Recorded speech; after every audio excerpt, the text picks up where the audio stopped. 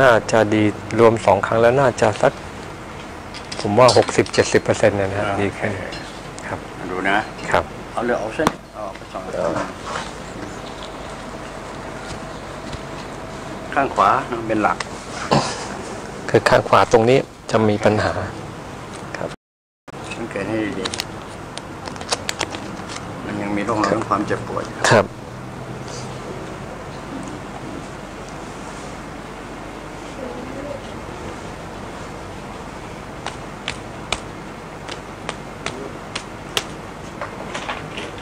ไอตัวผมนี่ยังมีไฟฟ้าสถิตเหลืออยู่ไหมครับ ถ้าถามชนนี้แปลว่า ไม่เข้าใจภาษา ไม่เข้าใจไฟฟ้าสถิตครับ แปลว่าไม่เข้าใจแน่นอน เพราะ มันก็ลำบากนะครับในการที่บอกว่าไฟฟ้าสถิตมันคืออะไร ครับ ถ้าถามผมว่า ไฟฟ้าสถิตมันเข้ามาอยู่ตัวเราได้ยังไงอย่างเงี้ยนะครับผมอธิบายได้หมด ที่ผมคิดคำเนี่ยครับเพราะผมจะเตรียมคำถามต่อไปครับอ่าผมจะดักคำถามล่วงหน้าครับ เพราะว่ามันจะมีจุดหนึ่งครับ ยังไงถ้าถ้าตอบคำถามไอ้ถ้า ถ้าผมเล่าให้ฟังว่าเข้าใจครับ มันจะไปอีกสเต็ปหนึ่งครับแล้วมันจะไม่เข้าใจใช่เพราะว่าที่ที่ป้ายที่ลุงเขียนก็คือว่ารักษาด้วยการดึงไฟฟ้าให้ออกจากตัวด้วยใช่ไหมอะไรอย่างเงี้ยอย่างนั้นก็ต้องมาพูด มาพูดคำว่าไฟฟ้าสถิตก่อนครับคำว่าไฟฟ้าสถิตมันแปลว่าเลยครับคือฟ้าไฟฟ้าธรรมชาติ ไฟฟ้าธรรมชาติ สถิตอยู่กับธรรมชาติทั้งหมดครับคือในอากาศนี่ก็มีใช่ไหมครับทั้งหมดครับ ดินน้ำลมครับอืมโอเคนะครับต้นไม้ใบหญ้าหมูหมากาไก่ช้างม้าวัวควายครับรวมทั้งมนุษย์เราด้วยครับถ้าหากว่า คำนี้รับไม่ได้มันไปต่อไม่ได้แน่นอนอืมมันอธิบายต่อไม่ได้ครับหวังว่าคงรับได้ครับเอาล่ะ จะรู้ได้ไง รู้ได้ความรู้รู้ได้โดยความรู้สึกอืมความเจ็บปวดคือความรู้สึกใช่ใช่ครับครั้งที่หนึ่งสองที่ผ่านมา เจ้าไฟฟ้าที่ว่านี้ครับมันหายไปหกสิบเจ็ดเปอร์เซ็นต์แปลว่า มันเคลื่อนตัวไปแล้วทุกขณะนั้นอืมเพ ราะมันต้องบอกได้ตามความรู้สึกไม่ทันไม่มีทางเลือกเลยครับ ก็ผลมันก็คือสบายตัว ครับอืมน่าจะรับได้โดยความรู้สึกเท่านั้นเองถามว่าอืมจะเอามาใช้ได้อย่างไร ครับต้องผ่านสมาธิ อ๋อและเป็นสมาธิชั้นสุดยอดของ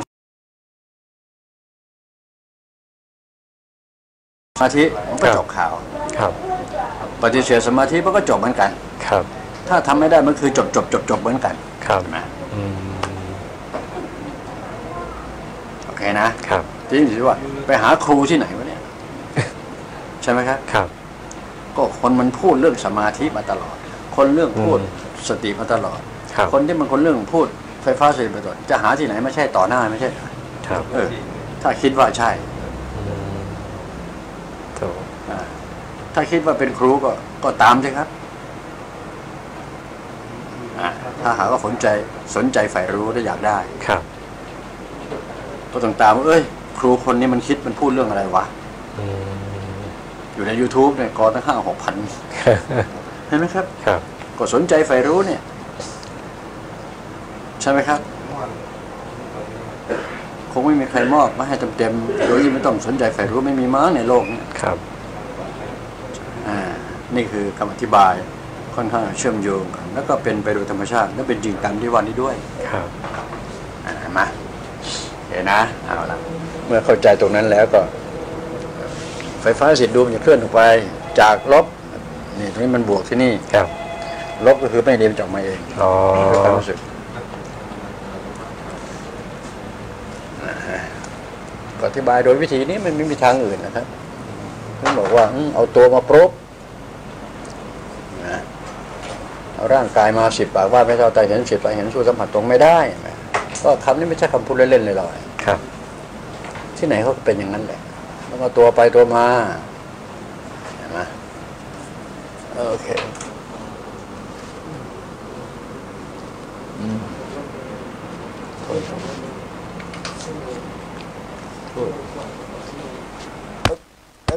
โปรดสังเกเกตเนี่ยเอาละผมจะโฟกัสตอนนี้อืม ความจริงก็ครั้งสองครั้งที่ผ่านมานี่ก็ไปตั้งเก้าสิบเปอร์เซ็นแล้ว ทีนี้มันจะไปถึงเก้าสิบเก้าไหมก็ตั้งความหวังไว้ครับอืมอืมโทษครับปึ๊บทีหนึ่งจะเหลือไหมเนี่ยปึ๊บปึ๊บอ่า ขยับเองมาสิโทษดิเอียงเอียงให้มันลงโฟกัสซะเลยเอียงไม่โฟกัสเราไปเดียวโทษครับใส่ตะกร้าปึ้นปึ้นปึ้น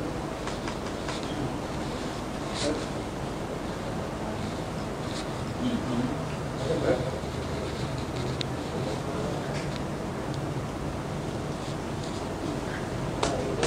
อ่าขยับตัวเองโอ้ไหมอืม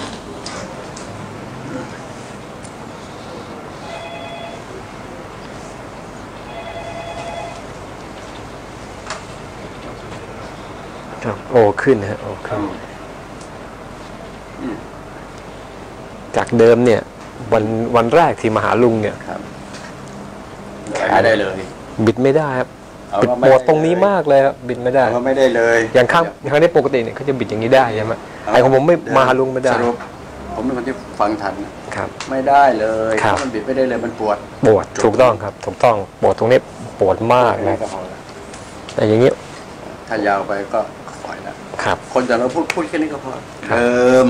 วันแรกที่มาหาครับบิดแค่นี้ไม่ได้แต่ปวดมากๆด้วยครับถูกต้องนี่ไม่ต้องอธิบายครับ ผมช่วยไป นึกลำดับย้อนสิครับ ช่วยเออช่วยเลยเฮ้ยวันนี้มากกว่าเดิมแฮะเฮ้ยมากกว่าเดิมแฮะพอถึงหน้าวันนี้เป็นไงเปอร์เซ็นต์มันบิดได้โดยที่ความเจ็บมันหมดไปอยู่ที่ความพึงพอใจครับ มันเหลือ สรุปเลย มันเหลือนิดๆเหลือประมาณสักสิบเปอร์เซ็นต์แต่ผมเนี่ยผมบิดได้แบบคล่องแคล่วขึ้นพอถามว่าสงสัยไหมเราพูดเรื่องของไฟฟ้าสถิตนะครับ ก็ถามประเด็นนี้ มันเป็นไฟฟ้าธรรมชาติอืมอ่าอันนี้อยู่ที่ว่าลุงออกสามารถขับเคลื่อนไฟฟ้าสถิตได้ก็จบตรงนี้ลุงออกคือลุงออกนะครับ ใครอยากขับเคลื่อนได้อาม่จะบอก มานั่งแทนที่ลุงออกเลยจำได้ไหมนะเขาทำไม่ได้ เออ งั้นก็แชร์กันได้ไหมครับ เห็นไหม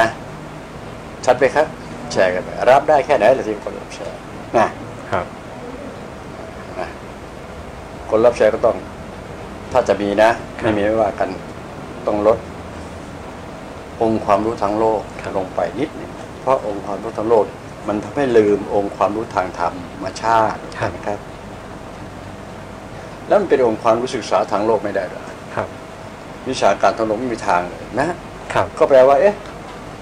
นี่เราศึกษามันผิดทางเหรอเนี่ยมันก็ประกอบอาชีพนะครับ มันก็บอกก็ผิดทางไปแหละใช่ครับอ่าทุกทางแต่ตัวธรรมชาติต่างหากครับที่มันย้อนแย้งเห็นไหมสรุปนี่ก็ง่ายๆผมจะพูดแค่ไม่กี่ประโยคไม่ไปกว่านั้นมันก็จะกลายเป็นเลอะเทอะเพราะว่าต้องถามว่า พูดกับใคร ครับเออแล้วถ้าผมพูดกับหลังเขาโอ้ยใช้เวลาสามชั่วโมง ถ้าพูดกับยอดเขาสามประโยคก็พอแล้วมั้งอ่าโอเคไหมครับครับอยู่ที่ว่าตัวเองอยู่อยู่ตรงไหนของเขาลูกนั้นใช่ไหมล่ะจะอยู่ยอดเขาหรือว่าอยู่กลางเขาอยู่ตีนเขาหรือว่าอยู่หลังเขาโอเคไหมเนี่ยภาษาผมเนี่ยประชดก็เท่านั้นนะเนอะคนเข้าใจก็ดี ไม่เข้าใจก็ทื่ออย่างนั่นแหละครับไม่มีทาง คนไม่เข้าใจก็ทื่อนปล่อยก็ทื่อไปก็ไม่เป็นไรแล้วครับ ความทื่อไม่ใช่ความจนไม่เป็นไรเนาะเออความทื่อไม่ใช่ความจนความชื่อไม่ใช่ความลำบากไม่ใช่ความทรมานการชื่อยไปก็เป็นนี่คนไม่เชื่อมันก็ปล่อยตรงเรื่องของจริงเออ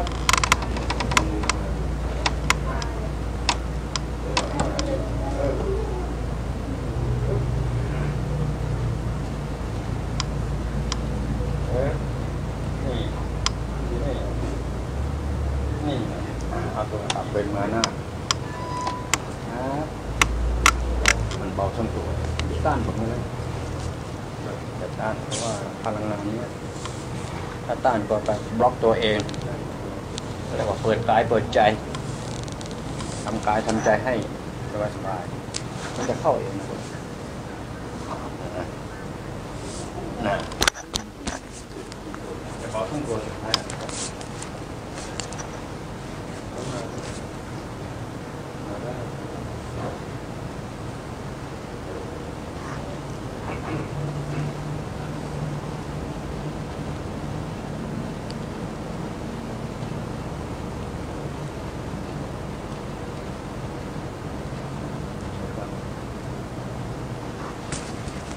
โอเคไหม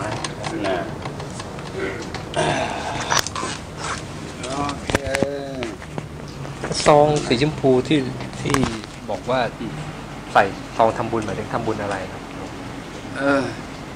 ไม่รู้จะทำบุญอะไรกันไม่รู้ครับแต่คือก็เห็นมีอ่ากล่องอยู่แล้วสี่กล่องใครจะทำก็ทำให้เลือกแต่ผมก็เลยสงสับายงว่าคนก็ทำใส่ซองครับใส่ซองเออก็เหมือนเหมือนกันไหมครับเหมือนก็ไม่ต่างกันมั้งมั้งครับ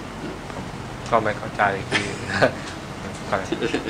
ไม่ต่างกันใครใส่ในกล่องก็ได้นะ อ่า ได้ ไม่ ก็มันเป็นตัวเลือกไงครับอืมใช่ไหมครับขี้เกียจจับยัดก็ใส่ซองจบข่าว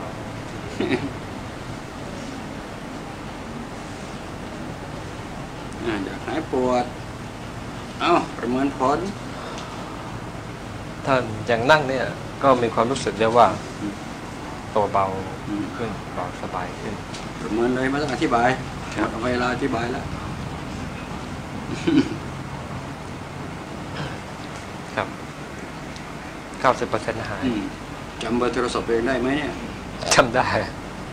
ศูนย์แปดหกเออห้าหนึ่งสี่ห้าสี่สามเจ็ดนะอาจจะมีคนโทรศัพท์ไปทวงหนี้นะโอเคไหมครับชินดีสงวนจังมาวันไม่เห็นอะไรนี่ทีนี้ก็บอก แบบสำรวจความพอใจ วัดผลสำเร็จครับ ติดตามผลอืมเพราะฉะนั้นอาจจะมีคนโทรศัพท์ไปถามทวงหนี้ครับโอเคไหมยินดีครับ อืม ถ้าลุงหมอกทวงไหม ถ้าพอโดนเขาสวนเลยนะครับ เอ้ยไม่ใช่เวลาทวงหนี้ มันยังไม่สิ้นเดือนเลยไม่ใช่เวลาทวงหนี้ถ้ามีนะ อย่ามีดีที่สุดเลยครับถูกต้องครับยังมีดีด้วยว่ามีเครดิตเยอะ ที่สุดแล้วซวยเลยพวกเครดิต ถ้าเครดิตการค้านะครับ มันหมุนเวียนมันต้องจัดสรรถามว่าเครดิตโอ้โหแค่พูดบอกว่ายืมเพื่อนมาให้แล้วจะจ่ายยังไงวะเนี่ยเครดิตความเชื่อถือความน่าเชื่อถือมันเปลี่ยนแปลงนะให้รู้ครับ สิบปีที่แล้วใช่สิครับ นาทีนี้ไม่ไหวแล้วพี่อ่าครับ ถ้าเครดิตความน่าเชื่อถือกันและกัน เครดิตทางด้านการค้าเป็นอะไรเพราะมันมีโต้ตอบมันมีหนังสือมันมีการยืนยันไปมาอยู่ครับอย่างนั้นก็ โอเค คนไหนเครดิตมากก็พันล้านก็มีเครดิตก็แต่ไม่รู้แหละอ่าห้าพันล้านเนี่ยใช่ไหมถูกครับอันนั้นก็ถือว่าเป็นการเจริญเติบโตทางด้านเศรษฐกิจไป แต่เครดิตครัวเรือนเนี่ยระวังให้ดีหนี่ครัวเรือนแล้ว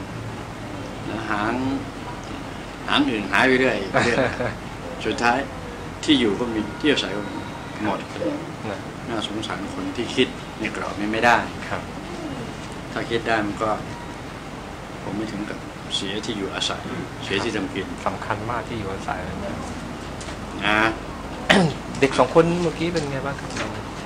จัดของกิจการการเรียบร้อยครับเด็กปวดขามันปวดจะไปเรียนหนังสือได้ได้